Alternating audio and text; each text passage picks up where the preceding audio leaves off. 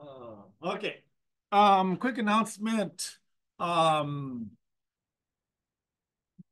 the MUDAC competition is coming up, and I know some people already signed up for that, but uh, some uh, there's we're still recruiting it. I don't know if you're familiar with MUDAC, but um, it's the Minnesota has a data analytics organization. It's based in the cities, although we do have uh, some talks uh, here in Duluth, and later on this spring, I'll give you extra credit for going for it to one, probably. Um, so, um, and there's a competition for undergraduate data analytics. It's April 6th and 7th down in Mankato, and we're sending at least one team uh, there. It's um, it's not it, was an in-person event, then again it went virtual, and now it's in person again. And basically, you go down there, and I think you have about a day. You're given a challenge, and you have a day to, as a team, uh, to try to analyze some data, do some uh, modeling on it, and create some uh, presentations or some information about it uh, there. Uh, it helps if we had students who are in or have had machine learning or data visualization. Uh, it's always helpful to have people from different perspectives on it uh, because we never know where the data is coming from or where what perspectives are useful there. So if you're interested in uh, being part of the team or just learning more about it, email Brandon Olson uh, here. So, uh, so we're on unit five. I I've opened up unit six and have it there because uh, the project's there. Uh, and so I just wanted uh, you to see that and stuff. Uh, so unit six is also open, but we're still back in unit five here uh, for this. So um, we are going to just walk through the learning notebook here, uh, this practice five convolutional neural network notebook. So we're just going to walk through that today. So if you click on that and open it up, uh, it should open up this notebook.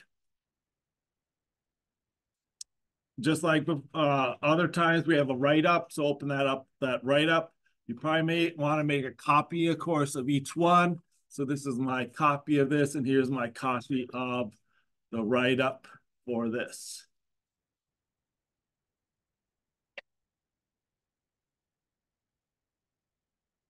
So we're going to look at these convolutional neural networks again and try to get them figure out, make sure we have an understanding of how these work. These are actually still used a lot today. These layers are used a lot today. Um, one of the reasons is they all, just about any sort of image processing we're doing is using some sort of convolutional layers uh, for this. So um, like if you think of any image generation techniques or stuff like that, uh, a lot of those are using these convolutional layers. So we're just doing categorization right now where we're just taking an image and trying to say that's a dog or that's a giraffe uh, sort of stuff. But once we have that basic kind of structure these convolutional layers down, you can create other networks like common thing is to draw boxes around things and identify things or color things different colors and say this region is a person and this region is a car. And so like all the self-driving vehicle sort of stuff are using techniques like that. Um, we can also set these up so that like we are taking an image and generating just an outcome, cat, dog, or some simple output. But you can also take these, uh, and we'll look at what we call encoder decoder networks in a couple weeks, where you'll take an Im an image or some input and uh, you'll convert it, and then you'll generate a new image as output uh, here. So these convolutional layers are, are very useful to in a lot of areas here. Um, so our first task is we're going to open up this spreadsheet and see if you really understand how these filters work uh, here. Uh, and I think one way to me, for me, for you to try to understand that is to um, try to do it by hand. I always tell programmers, you know, if you if you can't do an algorithm by hand, it's really hard to program a computer to do that. And so we're going to try to do that same thing here. Uh, so if you open up this spreadsheet, this is our picture. Now that's supposed to be a peace sign. I'm sorry, it looks an awful lot like an alien uh, there, but I, the idea originally was peace sign, alien, whatever. Uh, that's our, our image uh, here. So again, uh, it's color, but it's really just a grayscale image here. Um, so some of the pixels are zero, the darker ones, uh, and the whiter ones are 255. So this is our image. It is 16 by 16 pixels uh, here. And uh, this is the, you know, the pixel value, the grayscale value of each one. So this is our original image down here. And we're going to do a two by two max filter on this image uh, here um, for this. I'm going to delete some of these and do these again. So um, let's just start. So what does a two by two filter do? Uh, we are going to pick a two by two area. And again, we're going to start in the, I'm going to start the top left. And I'm going to look at the those four values and we're going to do a max pooling uh, two by two filter. So that means I find the maximum. They're all the same. They're all 255. So the maximum is 255. So I'm going to put that value up here. So these four cells here go up here. Just to kind of help keep track, I'm going to put a border around this uh, so that we can see that we did that section. Okay, so we did that section here. And that was this one right there. Okay, now we're going to do a stride of two. So I'm going to move two to the right and do this section right there. So I'm going to uh, and again, I'm look at the look at these four pixels, and again, the biggest ones there's 255, 255, 255, and 200, and the biggest one is 255. So I'm going to put a 255 there. So again, these four pixels there. Let me pick a different color for this. Uh,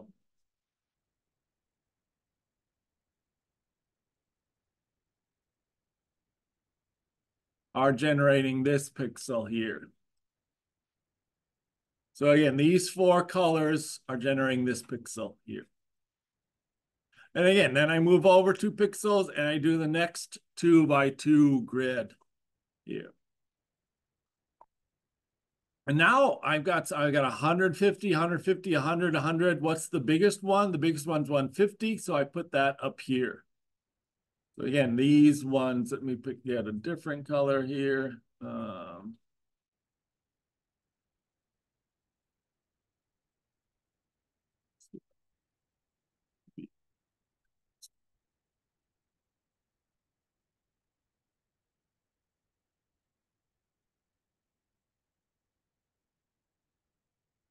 So you can see for every two by two grid here, I generate one pixel up above here. And we want you to do some new pixels. So this would be another blob uh, here. I'm gonna do that in the same color. And this would be a new blob. Uh, so again, this would be uh, in this color.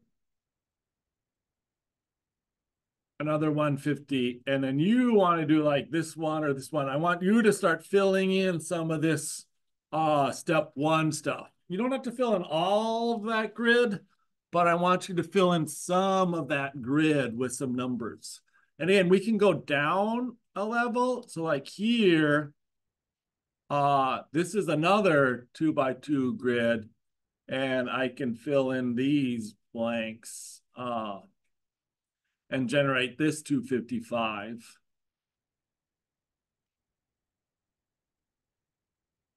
Uh, ah, here. So these are ones, and so like these, this is a 200. Uh, I'll mark those up. We'll generate this 200. This would be 100. Generate this one hundred. So see, I want to see if you can understand what max pooling is. And so then for your write-up, I want to describe what it does uh, here. Uh, how does this work? And then update this. And then eventually I want to, you should make a copy of this if you haven't already, and then you'll want to submit your copy of this. Uh, or part three. So part question one about one, write a little bit about how this max pooling works. Question one about two, and then for part one dot three, you'll submit a link to your spreadsheet here. And again, you can just go to share uh, and copy that link, share it with everyone with the link or something like that so that I can see it.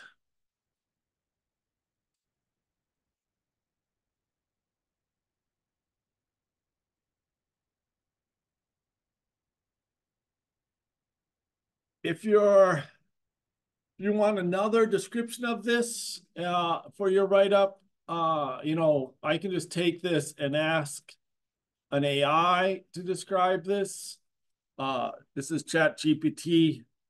I forgot to tell it to be brief, so it goes on and on. Uh, but it talks about max pooling uh, techniques. It's it calls it a downsampling or feature extraction, uh, where we're downsampling makes means we're making the image smaller uh, here. So we have a two by two window that's moved across the image. At each position, the filter covers a two by two region. We find the maximum value uh, in each two by two region. And then we're creating a pooled image. And again, that's what we have up here. Kind of step one is our pooled image. This is 16 by 16. The pooled image will be eight by eight uh, here. Uh, and it talks a little bit more about this.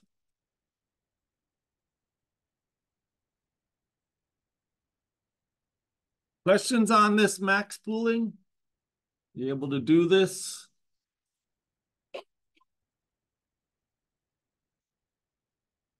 Yeah. Can you show like an example or the differences between step one and step two and step three? Yeah, let's go on. So I'm going to do step two next. Okay. So I'm going to, I'm going to clear out, I've been doing these borders. I'm going to, let's me clear out these borders a little bit. Um,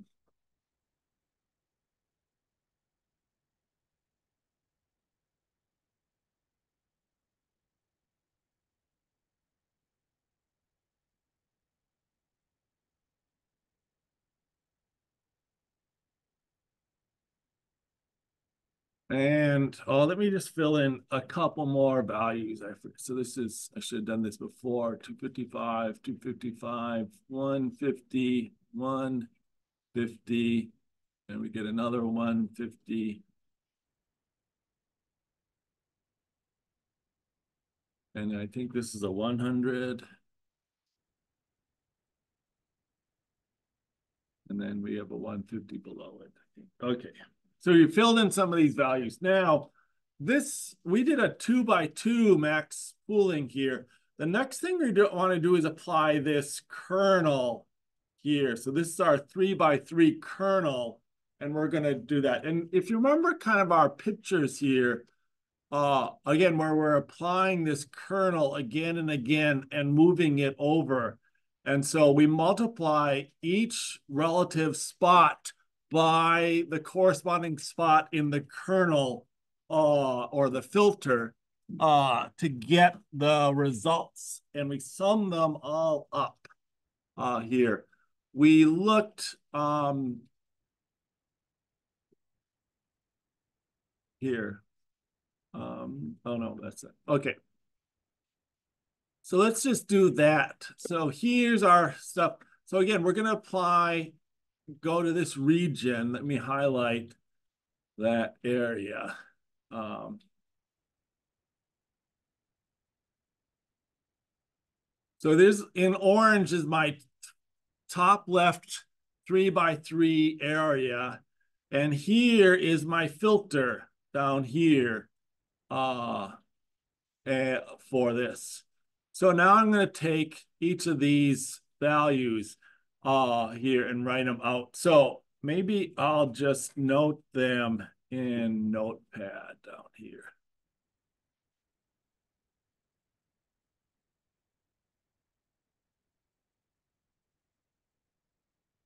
Okay, so I'm going to take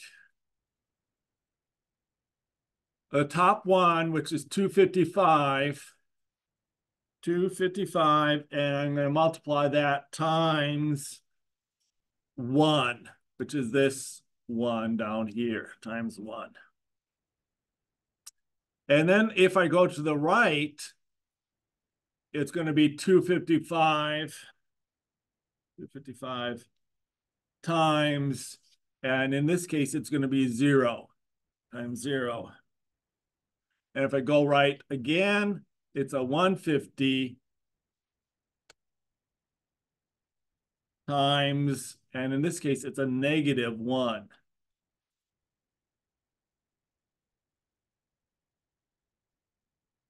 And then I go and go down. The next row is a 255. And then this corresponding one is a one times one. And then a 150 times zero. And then a 100 times negative one.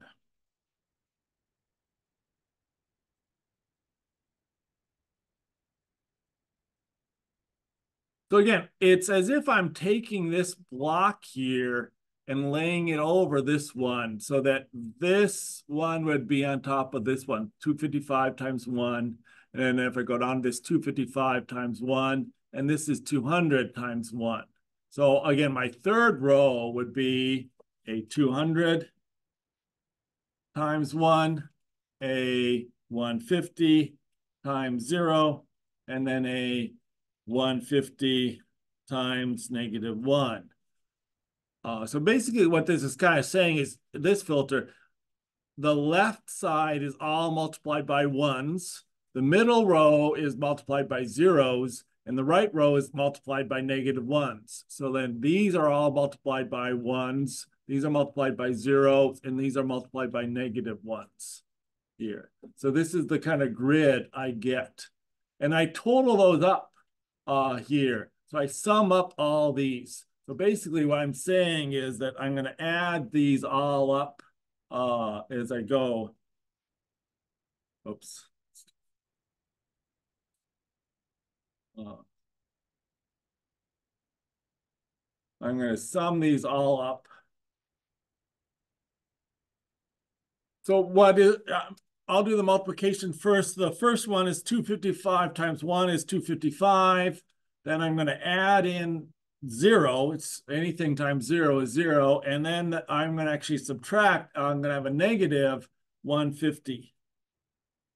And then I'm going to have a 255. 255 times 1 is 255 plus 0, because the middle row is multiplied by 150 times 0 is 0. And then 100 times negative 1 is a negative 100. And then the last row is 200 times 1 is 200. 100 plus 150 times 0 is 0. And then 150 times negative 1 uh, is a negative 150. And I'm going to add those all up uh, here. So bring up my handy dandy calculator and I'm going to go uh, 255 plus 0 plus or, or uh, negative 150 plus 255 I'm just gonna do a minus one hundred plus two hundred plus zero minus one fifty.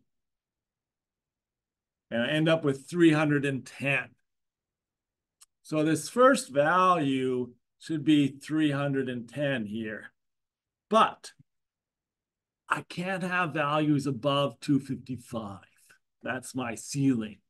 Oh, there, that's as right as we can get. So anything above two fifty-five, we just say is two fifty-five. So, uh, so here's our rules. If a value is less than zero, if the sum is less than zero, then the value is zero. If the sum is greater than 255, then the value is 255 here uh, for this. So we'll do this and then we'll shift. And now when we move over, we'll just do a stride of one. We'll move over just one location here. So let me highlight this in a different color. Let's do a bright blue here.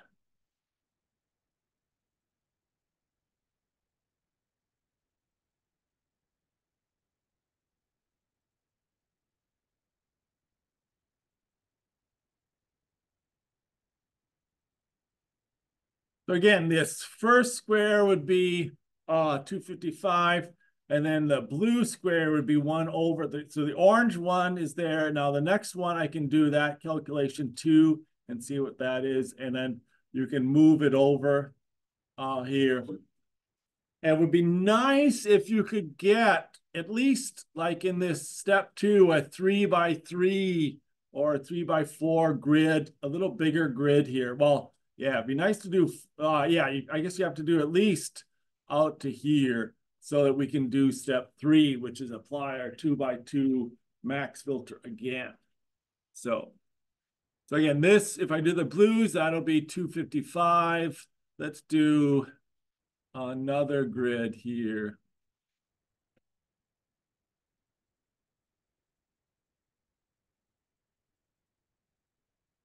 Yellow.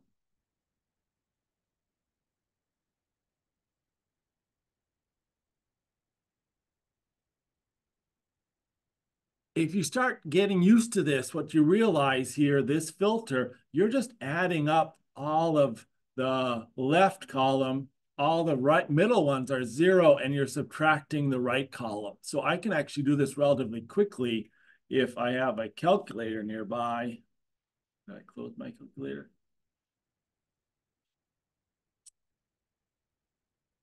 I can just say, so this is 150 plus 100 plus 150, that's the first column. And then I'm going to subtract the other side, minus 150 minus 100 minus 150 and I'm going to end up with zero. In fact, if I looked, they all block each other out. So this is actually going to end up to be a zero here.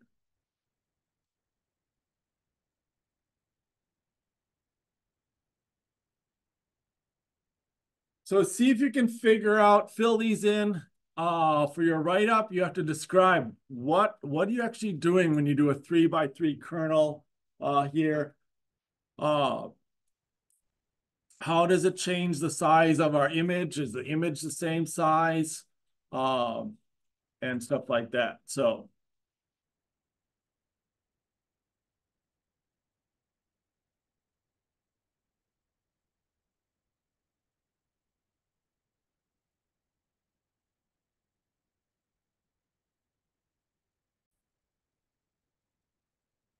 this is all we're going to do today. I'm just going to give you a heads up on what is uh, next week. We're going to continue doing CNNs next week. Um, one of the things we'll find is that training these is going to take a long time. In class, we'll do uh, try to do the full uh, Caltech 256, and often that training uh, will take a long time. You know, can take minutes, if not an hour, uh, here. So what we'll try to also do is we'll there'll be pre pre trained models And we'll want to look at these pre-trained models and bring those in. We'll talk about ways of using these pre-trained models. And then for the project next uh, week, uh, and if again, if you want, you can probably get started on some of this uh, now. Um, there's two different Kaggle challenges. One is to recognize pneumonia from chest x-rays uh, here, and the other is a humpback whale identification uh, here. Um, humpback whales have unique tails when they dive. People take pictures of the tails, and you can actually tell each humpback whale from its whale tail pattern uh, there. And there's been an ongoing research project. There's a huge database of whale tails out there, and it's been numerous Kaggle challenges. So it's a really well-known data set out there. It's kind of fun uh, to do uh, and see. Couple, two years ago, I was out visiting. Uh, we were out visiting our son out in Bellingham, Washington. We went on a whale tour, and we you usually just see killer whales, but that day we got to see a humpback whale out there, and the guide got a picture of it and submitted it, and we could actually uh, tell which whale it was uh, from that. So. Um, we'll be doing more of what we're kind of doing today, where we're going to try to test something out and see if it works. We'll be bringing in a little more of this scientific method where we'll be actually making a hypothesis and testing out that hypothesis uh, here. And this will actually start prepping us for our uh, final project where you're going to do something similar to this in your final project too. So that'll be next week. So uh, again, if you get this done, make at least two changes to your notebook. Try to get your scores up uh, if you can and submit that. Well, then we'll see you next week.